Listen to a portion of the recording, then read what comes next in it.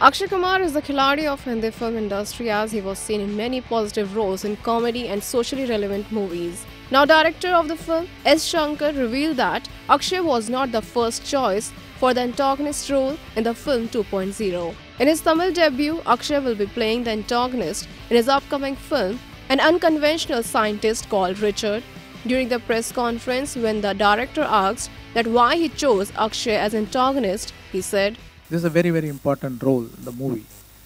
And uh, the the theme is international. Um, because uh, cell phone everyone is having cell phone. Then anyone in any part of the world could connect with this movie because of the cell phone. So i was thinking to make it this film little international. So we had a thought of uh, casting uh, Arnold Schwarzenegger in this movie, and uh, we had uh, talks also, and he, uh, he had allotted uh, the dates also, but somehow things didn't fell in place because of the contract of Hollywood contract and an Indian contract is contradictory. So so then.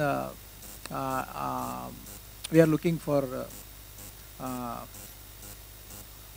good cast from our Indian industry. So in that time, uh, Lyca Productions were planning to do a remake of a Tamil movie, Kaththi, in Hindi. So the talks are going on with uh, Lyca Productions and Akshay sir.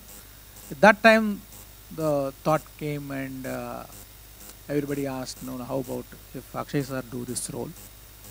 I told yeah, it will be nice. Like then uh, I narrated the story to him, and he liked it, and uh, we did this. The film will also see Rajinikanth and Amy Jackson in leads. The movie is slated to release on November 29th this month. IANS report. Subscribe to our channel. Just click on the bell icon for all the latest updates.